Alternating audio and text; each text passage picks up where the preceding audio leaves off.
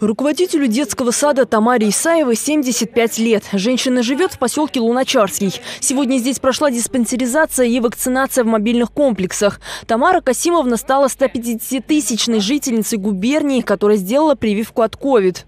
На авось надеяться сейчас нельзя уже, насколько такая а, обстановка по всем инфекциям очень ужасная. Лучше привиться. Себя обезопасить окружающих. И тем более я работаю с ребятишками маленькими. Чтобы стать на шаг ближе к жизни без ковид, Денис Домарев сделал сегодня первую прививку от коронавируса. Через 21 день ему введут второй компонент вакцины. Денис – председатель Самарской областной организации молодых литераторов.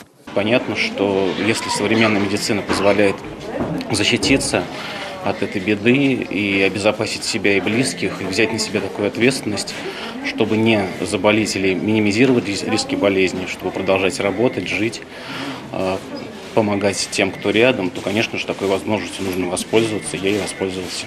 Вакцинация проводится добровольно и бесплатно. После прививки за пациентами следят. Обычно все проходит без осложнений, рассказывают медики 4 городской больницы. В первую очередь рекомендуют привиться людям старшего поколения и тем, у кого есть хронические заболевания.